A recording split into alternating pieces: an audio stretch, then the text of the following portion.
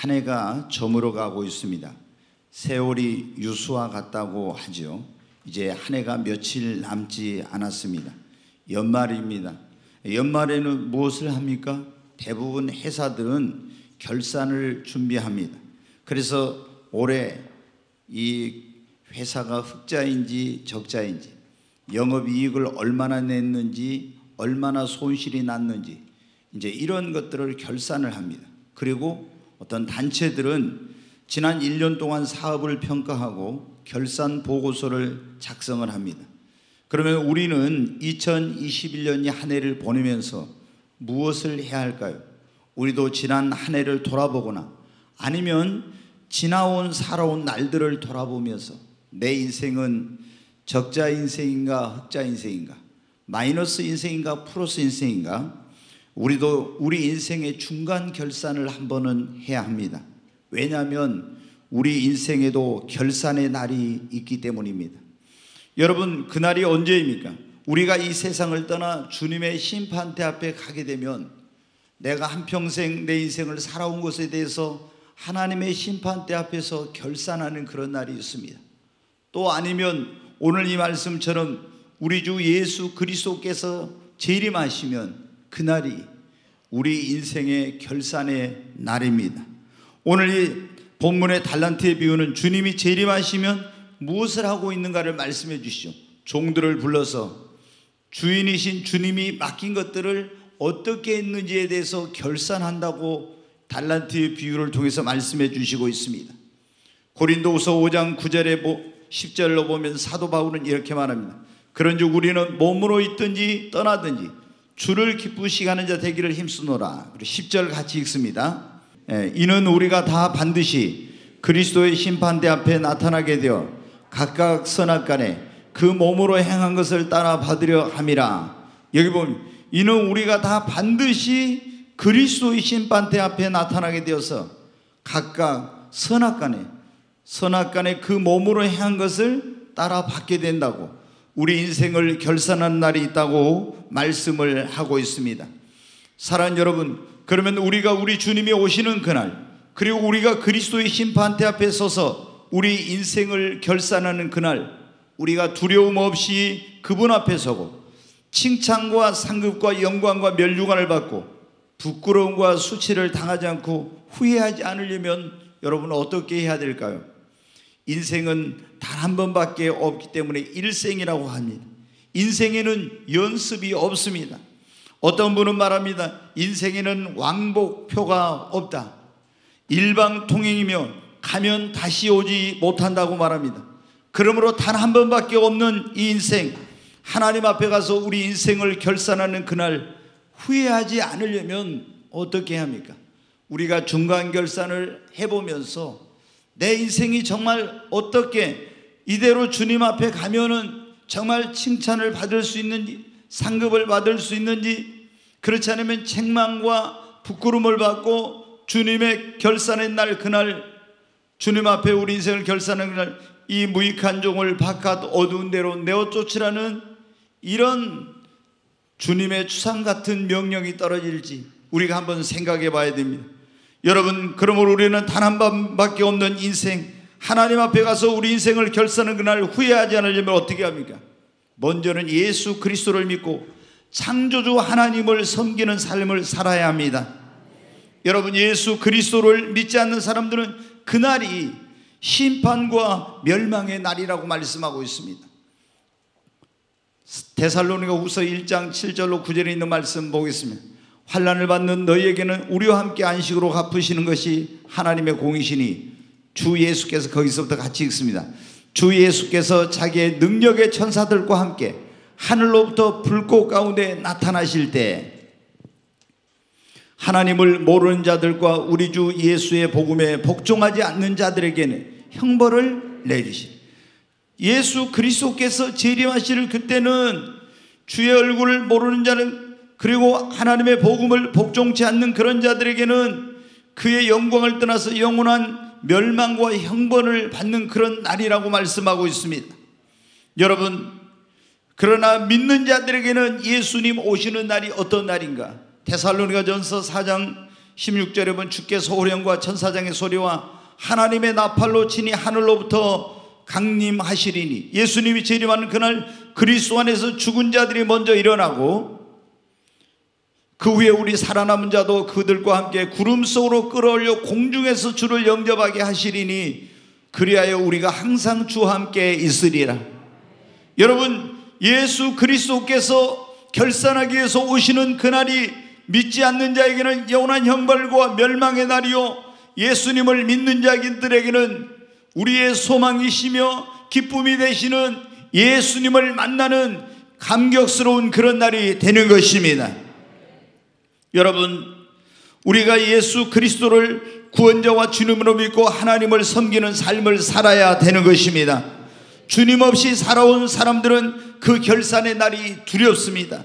주님 없이 살아온 인생은 하나도 하나님 앞에 기억되지 않습니다. 자신만을 위해 사는 인생은 실패한 인생이라고 성경은 말씀하고 있습니다. 성경에 보면 우리가 지혜왕이라고 하는 솔로몬이 있습니다. 솔로몬은 하나님께서 주신 지혜로 부와 귀와 명성을 얻게 되고 하나님께 큰 축복을 받았습니다. 젊어서 왕이 됐는데 이 사람이 젊었을 때 그 향락과 쾌락에 빠져서 흥청망청 살다가 이제 나이가 들어가지고 아 자기 인생을 돌아보면서 내가 너무너무 잘, 잘못 살았구나.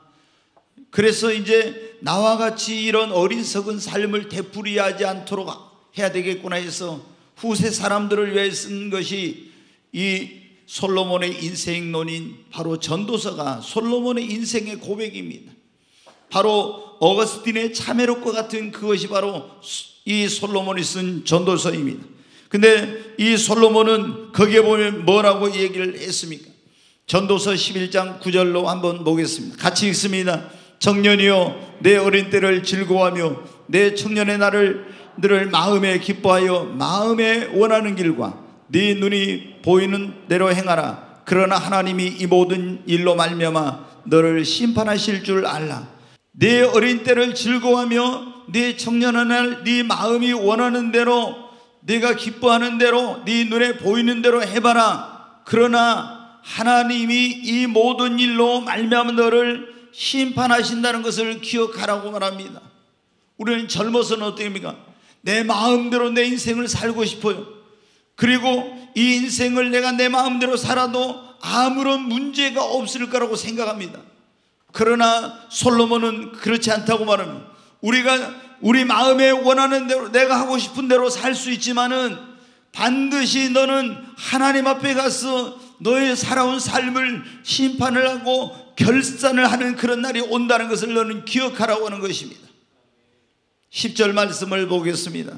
그런 즉 마음이 근심이 내 마음에서 떠나게 하며 악이 내 몸에서 물러가게 하라. 어릴 때와 검은 머리의 시절이 다 헛되니라. 12장 계속 보겠습니다. 같이 읽습니다.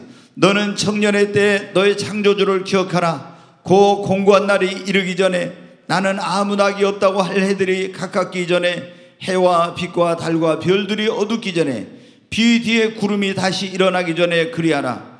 그래서 여기 보면 너는 청년의 때 젊었을 때 헛된 인생을 살지 말고 네 인생을 하나님 앞에 가서 결산한 날이 오기 때문에 예수 그리스도를 믿고 너를 지으신 창조주 하나님을 기억하면서 그렇게 살라고 너에게도 공고한 날 아무 낙이 없다고 할 그런 날들이 올 것인데 네가 늙어서 너무 늦게 이것을 깨닫게 되면 네가 이제 살아온 삶을 되돌릴 수 없기 때문에 너의 젊었을 때 너를 지으신 창조주 하나님을 기억하고 예수 그리스도를 믿고 하나님을 섬기며 살아라. 그렇게 지금 권면하고 있습니다. 그래야 우리가 하나님 앞에 가서 우리 인생을 결산할 때 후회하지 않는다고 말씀하고 있는 것입니다. 여러분, 오늘 이 자리에 오신 여러분 가운데 아직 예수님을 안 믿는 그런 분이 있습니까? 그러면 하나님 앞에 서는 그날, 우리 인생을 결산하는 그날이 여러분에게는 두려움이 될 것입니다. 그러나 예수 그리스도를 여러분이 구원자와 주님으로 믿고 구원의 확신을 가진 사람들은 결산의 날이 결코 두렵지 않습니다. 이제는 여러분이 자신을 위해 살지 말고 여러분을 하나님의 형상과 모양을 따라서 지으시고 구원해 주신 그 창조주 하나님을 위해 사십시오.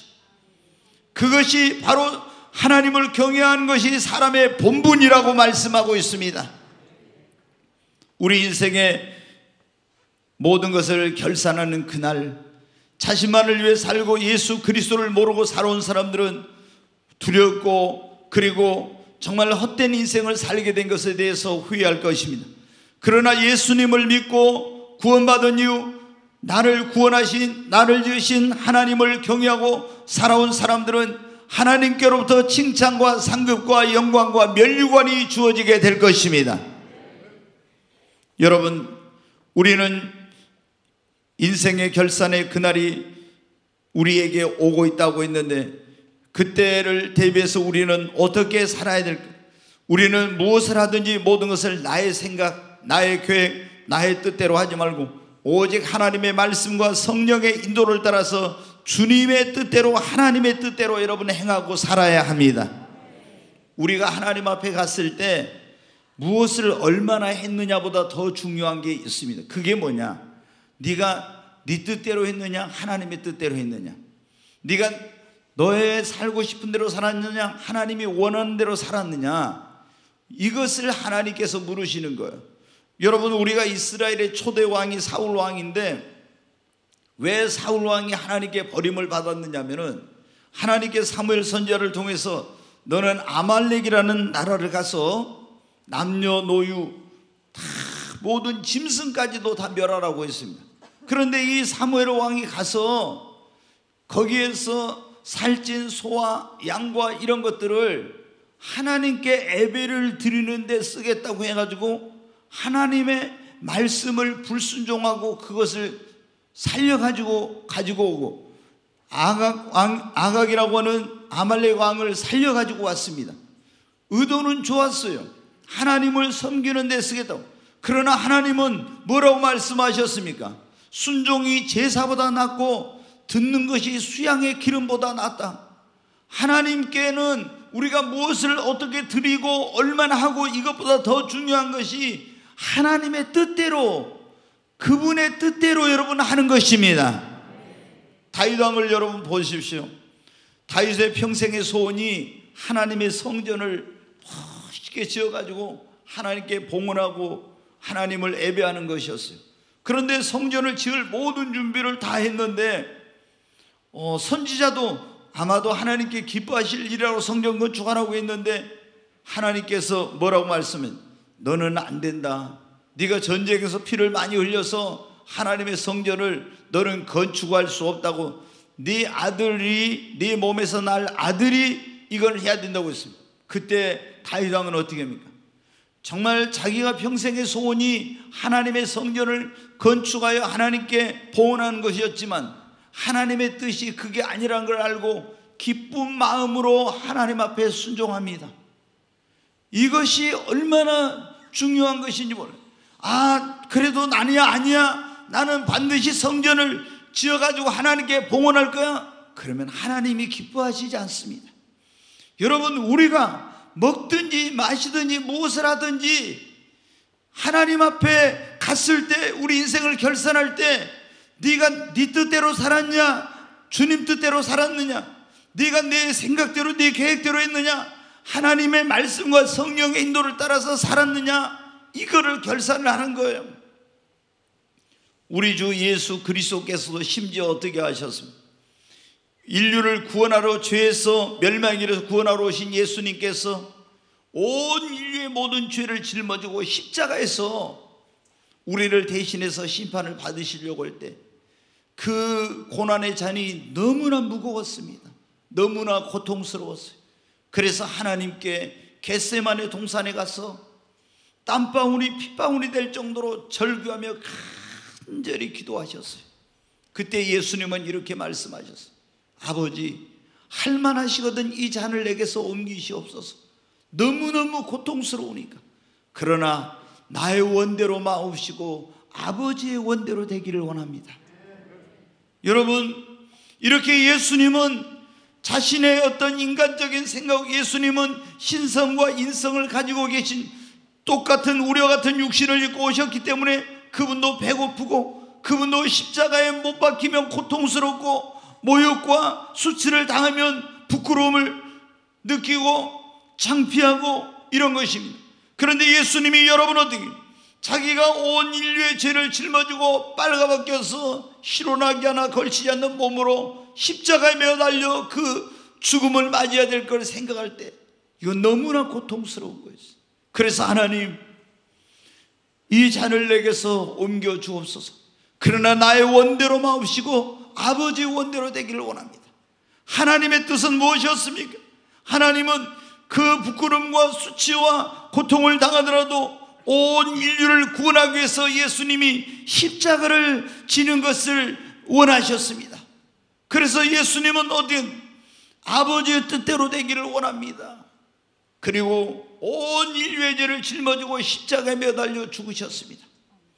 예수님께서 그렇게 주님의 말씀, 자신의 뜻대로가 아니라 주님의 뜻대로 순종했을 때 하나님은 어떻게 하셨어요?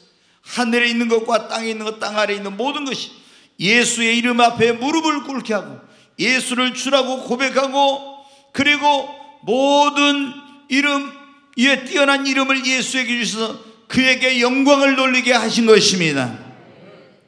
여러분, 우리가 주님 앞에 가서 우리 주 예수 그리스도께서 오실 때 심판대 앞에서 우리의 인생을 결산하는 그날 누구의 뜻대로 살았는가 물으시고 심판하신다는 것을 기억해야 합니다.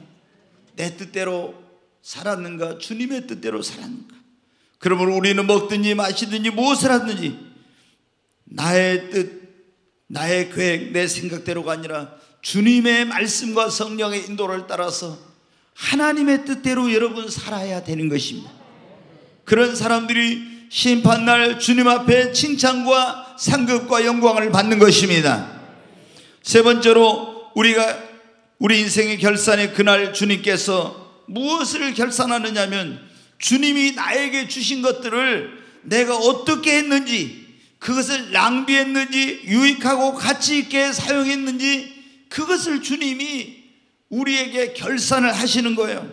나에게 주님이 주신 시간, 나에게 주님이 주신 물질, 나에게 주님이 주신 능력, 나에게 주님이 주신 그런 지혜, 재능, 이런 여러 가지 것들을 하나님께서 주신 그것들을 내가 어디에다 어떻게 썼는지, 자신의 육신의 쾌락과 정욕과 그리고 이 세상에 썩어질 것들과 헛된 것들을 위해 내 시간과 물질과 나의 건강과 재능과 힘과 능력과 이런 것들을 사용했는지 아니면은 정말 주님과 복음을 전하는 일을 위해서 하나님의 영광을 위해서 그리고 선하고 가치 있는 그런 일을 위해서 내 시간과 물질과 나의 에너지와 능력과 지혜와 하나님 주신 이 모든 것들을 사용했는지 그것을 결산하신다는 겁니다. 여러분, 여러분은 여러분의 시간을 어디에다 지금 많이 드리고 있습니까? 여러분의 물질을 어디에 쓰고 계십니까? 여러분의 그런 젊음과 여러분에게 있는 에너지와 여러분에게 하나님 주신 그런 은사와 재능, 능력들을 무엇을 위해서 여러분 사용하고 있습니까? 우리는 주님 앞에 가는 그날, 인생의 결산의 그날, 하나님께서 나에게 시간도 주신 것입니다. 하나님께서 나에게 건강도 주신 것입니다. 나에게 힘도 능력도 지혜도 지식도 이런 모든 것들을 하나님이 주신 것입니다. 그런데 이 하나님이 주신 것들을 내가 어디에다 무엇을 위해서 쓰고 있습니까? 오직 나 자신의 육신의 쾌락과 정욕과 그리고 나 자신의 명예를 얻고 또 세상의 어떤 헛된 것들을 위해 썩어질 것들을 위해 사용합니까? 아니면 주와 복음을 위해서 하나님의 영광을 위해서 유익한 것들을 위해서 이러한 것들을 사용하고 있습니까? 여러분, 우리 주님 앞에 갔을 때 반드시 이것을 결산하게 됩니다. 우리가 누가 보면 16장에 보면 불의한 청지기의 비유가 나옵니다. 주인이 청지기에게 자기 집안에 있는 모든 것들을 관리할 수 있는 권한을 줬어요. 청지기는 뭐냐면은 모든 것을 다 주인을 대신해서 관리할 수 있는 그런 사람이에요. 그런데 이 청지기가 주인의 허락도 없이 지 마음대로 그것을 막 아무데나 낭비한다는 그런 주인이 맡겨놓은 것을 갖다가 낭비한다는 소식이 들린 거예요. 그래서 그 청지기직에서 해임을 시키겠다고 하는 내용이 나옵니다. 여러분 하나님께서 우리를 청지기로 세우신 것입니다. 그리고 나에게 시간, 물질, 나에게 지혜, 능력, 은사 이런 여러 가지 것들을 주님이 주시고 맡겨 놓으신 것입니다. 이것을 가지고 하나님께 영광을 돌려 이것을 가지고 주와 복음을 위해서 사용하고 선한 일을 하라고 주신 것입니다. 그런데 우리가 하나님께서 내게 맡겨주신 이러한 것들을 엉뚱한 데다 허비하고 낭비한다면 주님 앞에 우리 인생을 결산하는 그날 주님께 책망을 받을 것입니다. 그리고 이 무의간종을 바깥 어두운 데로 내어 쫓으라. 거기서 이를 갈며 슬피 울며 있으리라고 하는 이런 주님의 징계를 받게 될 거예요. 그러나 주님이 우리에게 맡겨주신 것들을 주인의 뜻대로 잘 사용한다면 주님 앞에 칭찬을 받게 될 것입니다. 착하고 충성된 종이라고 칭찬을 받고 주님께 영광과 멸류관을 얻게 될 줄로 믿습니다. 여러분, 여러분은 지금 하나님께서 여러분에 주신 것들을 어떻게 사용하고 있습니까? 네 번째로 우리 인생의 결산의 그날 주님이 나에게 맡긴 사명과 직분, 사역 일들을 어떻게 감당했는지 그것을 결산하신다는 걸 알아야 됩니다. 여러분, 하나님께서 우리 예수 그리스도를 믿는 사람들에게 귀한 직분도 주시고 사명도 주시고 사역을 알게 하시고 일도 맡기셨습니다. 우리는 어때요? 맡은 자들은 주님 앞에 충성해야 돼요. 그런데 어떻게 이제 이 주님이 맡겨온 직분이나 사명이나 사역이나 일이나 이런 것들을 어떻게 감당했는지 우리가 인생의 결산의 그날 주님 앞에서 다 결산을 하게 되는 것입니다. 그래서 주님이 맡겨주신 직분과 사명과 사역과 일에 대해서 충성한 사람들은 오늘 여기 보면 달란트뷰에 나오잖아요. 이 주인이 먼 나라로 가면서 종들을 불러서 한 사람은 다섯 달란트, 한 사람은 두 달란트, 한 사람은 한 달란트를 맡겨놨어요. 그리고 먼 나라로 갔다가 오랜 후에 돌아왔어. 이건 뭐냐면 예수님이 구원받은 하나님을 믿는 자들에게 직분과 사명과 이런 사역과 일을 맡기시고 하나님의 나라로 우리를 위해서 처소를 예배하러 갔다가 다시 주인이 돌아왔다는 걸 우리 주님이 재림하신 거, 우리를 데리러 오신 것을 비유로 말씀하고 있는 거예요. 근데 그때 보니까 뭘 합니까? 종들을 불러서 결산하잖아요. 너 다섯 달란트 가지고 어떻게 했냐? 두 달란트 맡겼는데 어떻게 했느냐? 한 달란트 맡기고 어떻게 했냐? 다 물어보잖아요. 다섯 달란트 받느냐고 또 다섯 달란트 남겼습니다. 그러니까 착하고 충성된 종아, 네가 작은 일에 충성하였음에 네 주인의 즐거움에 참여할저다. 그랬죠? 두 달란트 받는 자도 똑같이 칭찬을 받았습니다. 한 달란트 받는 자는 그걸 받은 걸 어때요? 땅 속에 묻어뒀다가 가지고 와가지고 여러 가지 핑계를 냅니다. 그때 주인이 말합니다. 이 악하고 무익한 종 게으른 종아 내가 너에게 맡긴 것을 그러면 네가 일한 게 싫으면은 장사하기 싫으면 그걸 취리하는 사람들에게 맡겨서 원금과 이자라도 받겨야지 그러면서 그 한 달란트를 빼앗아 열 달란트 받은 자에게 주면서 이 무익한 종을 결박하여 저 바깥 어두운 데로 내어 쫓아라. 거기서 이를 갈며 슬피 울미 있으리라 그랬어요. 여러분 여기서 이 달란트를 맡겼다는 것은 우리에게 주님이 사명과 직분과 사역과 일을 맡겼다는 것입니다. 이거를 가지고 우리가 잘 맡은 사명, 직분, 사역, 일을 감당하면 어떻게 주님 앞에 충성하면 칭찬을 받고 주인의 즐거움에 참여하고 상급을 받고 멸류관을 쓰는 것입니다. 그러나 우리가 주님 맡겨주신 그런 사명이나 직분이나 사역이나 일을 게을리하고 불충하게 되면 주님 앞에 책망을 받게 되고 징계를 받게 된다고는 그런 말씀입니다. 여러분, 여러분은 하나님께서 여러분에게 주신 사명을 어떻게 감당하고 어떻게 생각하고 계십니까? 사도 바울은 내가 주 예수께 받은 사명 곧 은혜의 복음을 증가하는 일을 마치려 하면은 나는 나의 생명조차도 귀하게 여기지 아니했다고 했어요. 사도 바울은 자신의 생명보다도 하나님께 받은 사명을 더 귀하게 여겼습니다. 그래서 그 사명을 감당하기 위해서 어떤 고난과 위험도 무릅쓰고 충성하는 그런 자가 되었어요. 그래서 사도 바울이 죽음을 앞두고 믿음의 아들 디모데에게 보낸 편지에 보면 내가 선한 싸움을 싸우고 나의 달려갈 길을 다 마치고 믿음을 지켰으니 이제 의로우신 재판장이 내게 그날에 의의 멸류관을 주실 것이라고 그렇게 고백하고 있습니다. 여러분, 우리는 하나님께서 나에게 맡긴 사명을 생명보다 소중하게 하나님께서 나에게 맡긴 이 직분을 그 어떤 것보다도 귀하게 여러분의 받은 그런 장로님, 권사님뿐만 아니라 여러분의 집사님 그리고 하나님의 교회에서 주신 그 직분들이 얼마나 여러분이 귀한 직분인지를 알아야 됩니다. 이 직분을 충성스럽게 감당한 사람에게는 영광과 멸류관이 주어진 거예요. 그러니 이 직분을 귀하게 여기지 않는 사람에게는 하나님께서 징계를 내리시는 거예요. 우리가 주님 앞에 가서 내 인생을 결산하는 그날, 내 신앙생활을 결산하는 그날이 있습니다. 그때 심판대 앞에 그리스도의 심판대 앞에서 그리스도인들의 상벌의 그런 심판할 때 선악간에 그 몸으로 행한 것을 따라 받으려 함이라 했지 않습니까? 충성된 자들에게는 주님의 칭찬과 상급과 영광과 멸류관이 있습니다. 요한계시록 2장 10절에 보면 이런 말씀이 있습니다. 사대 교회 사자에게 말하기를 여기 보면 너는 장차받을 고난을 두려워하지 말라 볼지어다 마귀와 장차 너희 가운데 몇 사람을 오게 던져 시험을 받게 하리니 너희가 10일 동안 환란을 받으리라. 네가 죽도록 충성하라. 그리하면 내가 생명의 관을 네게 주리라. 너에게 환란이 오고 시험이 오고 어떤 고난이 오고 그런 가운데 있게 된다 할지라도 네가 네 맡은 일에 죽도록 충성하라고 그러면 내가 너에게 생명의 관, 생명의 멸류관을 내게 주겠다고 말씀하고 계신 겁니다.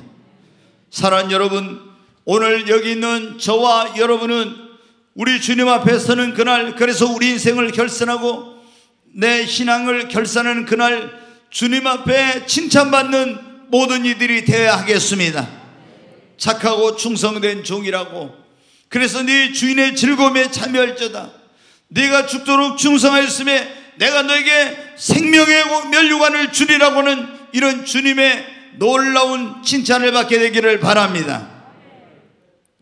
여러분, 우리 인생의 결산은 그날 주님께서 무엇을 결산하신다겠습니까? 첫 번째, 예수를 믿, 믿었느냐, 안 믿었느냐, 그리고 하나님을 섬겼느냐, 안 섬겼느냐. 이걸 가지고 이제 우리 인생을 결산한 거예요. 예수 안 믿은 사람은 그 인생은 하나님 앞에 기억되지 못하고 헛되고 헛된 인생이 되는 거예요.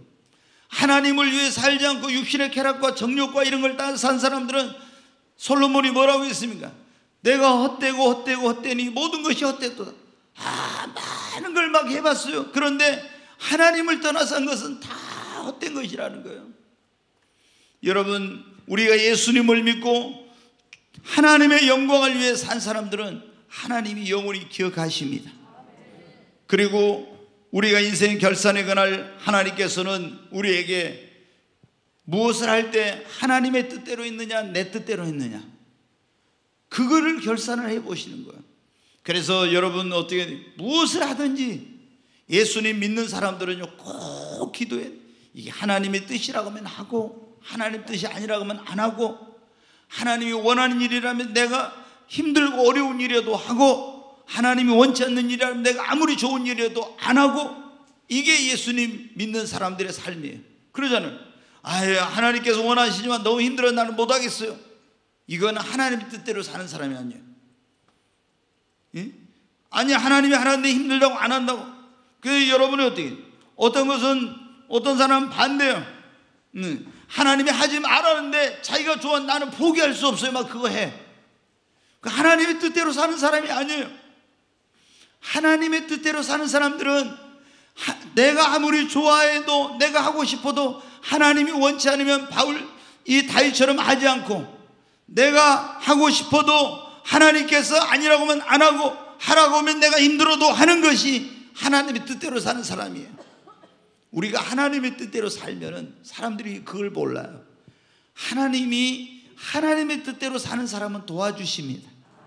하나님의 뜻대로 사는 사람이 기도하면 하나님께서 응답해 주십니다. 하나님의 뜻대로 사는 사람은 하나님이 그 일을 이룰 수 있도록 지혜 주시고 능력 주시고 물질이 필요한 물질을 필요해 주시고 하나님께서 놀라운 역사를 하여 주시는 것입니다. 근데 하나님 뜻대로 안 하면서 있잖아요. 하나님 막 뭐 도와주세요. 뭐 이렇게 해주세요. 저렇게 해주세요. 하면 해요? 하나님께서 얼마나 기뻐하시겠어요? 기뻐하지 않죠. 우리 하나님의 뜻대로 먼저 행하면서 기도하면은 기도 안 해도 하나님께서 하나님 뜻대로 살려고 한 사람은 도와주세요. 그러니까 우리 중심이 중요해. 여러분이 매일 마음속에 딱 그래. 나는 먹든지 마시든지 무엇을 하든지 하나님의 뜻대로 하나님 영광 에 살아야 되겠다. 그 중심을 가지고 한번 살아보세요.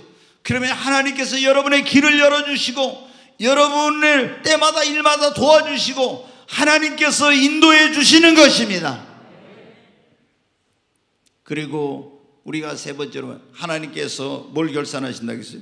나에게 맡긴 것을 하나님이 어떻게 했는지 시간, 물질, 건강 하나님 나에게 힘을 주시고 능력을 주시고 지혜를 주시고 지식을 주시고 여러 가지 많은 걸 주셨어 우리에게. 근데 그걸 하나님께서 나에게 맡겼는데 내가 그걸 어떻게 했는지 그걸 결산한다는 거예요 그냥 절대 하나님 그냥 넘어가죠 그리고 하나님 나에게 맡긴 사명과 직분과 사역과 일들에 대해서 충성했는지 불충했는지 그것을 주님이 결산하세요.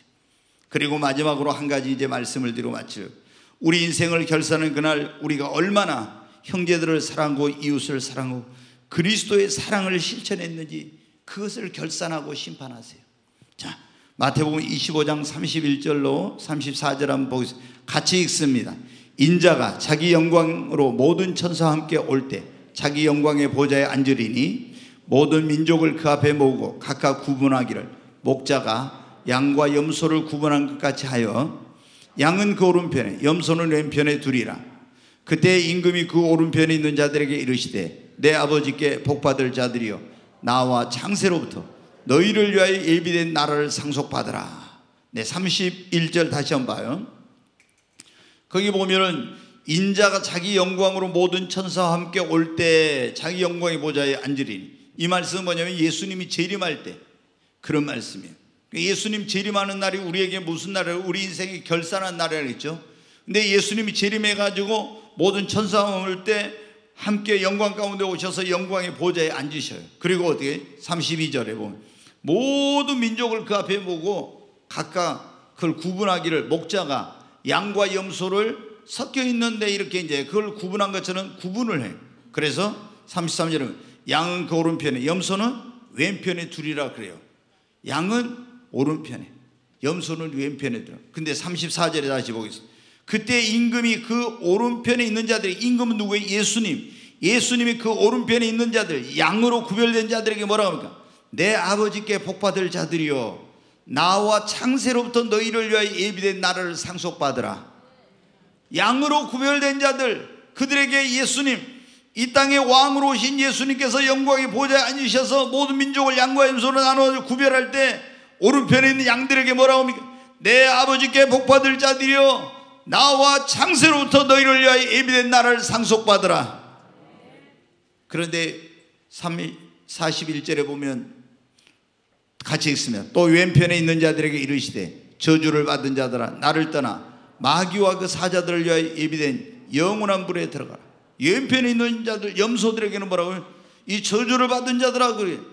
오른편에 있는 양들에게는 아, 복 받은 자들아 그랬는데 여기는 저주를 받은 자들아 그랬죠. 나를 떠나 예수님을 떠나서 마귀와 그 사자들 마귀의 졸개들을 위하여 예비된 영원한 불 지옥불에 들어가라 그런 거예요. 여러분 그런데 이 마태복음 25장의 양과 염소의 비유 여기에서 양은 어떤 사람들이냐? 예수 그리스도의 사랑을 입고 여기 있는 믿음의 형제들을 주님의 사랑으로 사랑하고 섬기고 그들이 배고플 때 먹을 걸 주고 목마를 때 마실 걸 주고 벗었을 때 입혔고 병들었을 때 옥에 갇혔을 찾아보았고 이런 사람들이에요. 왼편에 있는 사람들은 어떤 사람들이냐? 그리스도의 사랑을 실천하지 않는 자 그래서 배고픈 사람이 있어도 외면하고 목마른 자가 있어도 물 한 그릇 줄 줄을 모르고 헐벗고 배고프고 그리고 또 병들고 옥에 갇혔을 때 돌아보지 아니하는 자들 그들을 뭐라고요? 염소들이라고 했습니다. 여러분 여기에서 양이 되고 염소가 되고 복을 받고 저주를 받고 영생에 들어가고 영벌에 처하고 하나님의 나라를 상속받고 지옥불에 들어가는 것이 무엇으로 여기서 판가름 나고 있습니까? 그리스도의 사랑을 형제들에게 여기 있는 이 형제 중 하나에게 한 것이고 내게 한 것이니라 주님 그랬죠. 여기 있는 이 형제 중 하나에게 하지 않는 것이고 내게 하지 않는 것이라고 그랬죠. 여러분 그래서 주님이 오시는 그날 결산할 때 뭐예요? 예수 그리스도를 믿고 구원받은 우리들이 형제들에게 그리스도의 사랑을 실천했는지 안 했는지 이웃들을 내 몸처럼 사랑하려고 했는지 안 했는지 그것을 결산하신다는 거 하는 것입니다. 그래서 그리스도의 사랑을 실천한 사람들에게는 장세로부터 예비된 그런 나라를 상속받게 하시고 영생에 들어가게 하시고 그리고 그리스도의 사랑을 실천하지 아니한 그런 염소로 구별된 사람들에게는 마귀와 그 사자들의 예비된 영영한 지옥불에 들어가서 영벌을 받게 한다는 거예요. 그러니까 여러분 그리스도의 사랑을 실천하는 그렇지 않으면 얼마나 중요한지 몰라요. 하나님께서 우리에게 첫 번째 계명이 무엇입니까? 네 마음을 다하고 목숨을 다하고 뜻을 다하고 힘을 다해 주 너의 하나님을 사랑하라는 것이고 두 번째는 네 이웃을 네 몸처럼 사랑하라는 것이죠. 여러분 예수님은 그 십자가를 지시하는 제자들을 모아놓고 마지막 만찬을 하시면서 그들에게 이렇게 말씀하셨 내가 너에게 새 계명을 주노니 너희는 서로 사랑하라. 내가 너희를 사랑한 같이 너희도 서로 사랑하라. 저는 이 말씀을 읽을 때마다 제 양심의 찔림을 받아요. 주님이 우리에게 새로운 계명 우리가 구약에 보면 열 가지 계명이 있는데 열한 번째 계명이 뭐냐 사랑의 계명이에요. 내가 너에게 새 계명을 주노니 너희가 서로 사랑하라고. 그런데 어떻게 서로 사랑하라고요? 서로 사랑하라고. 근데 어떻게 사랑하라고? 내가 너희를 사랑같이 너희도 서로 사랑하라. 예수님이 우리를 어떻게 사랑했습니까?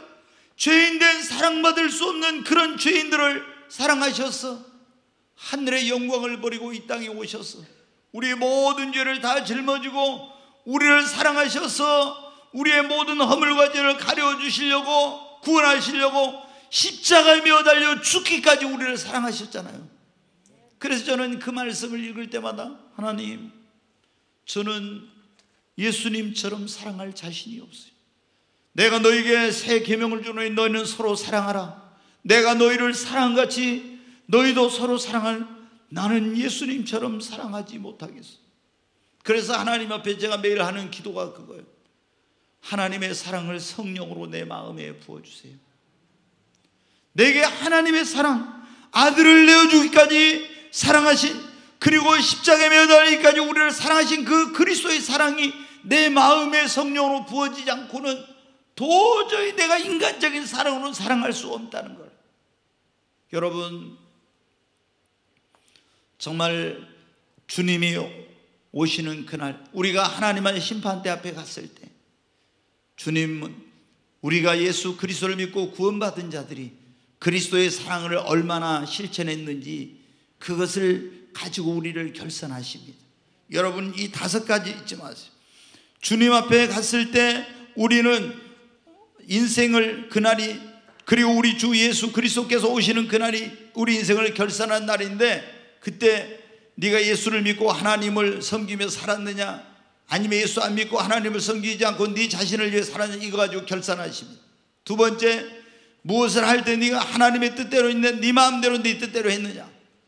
세 번째 하나님 우리에게 맡긴 시간과 물질과 건강과 에너지, 지혜, 지식, 능력 이런 많은 것들을 네가 그것을 가지고 뭘 했느냐, 어떻게 했느냐 이걸 결산하신 거예요.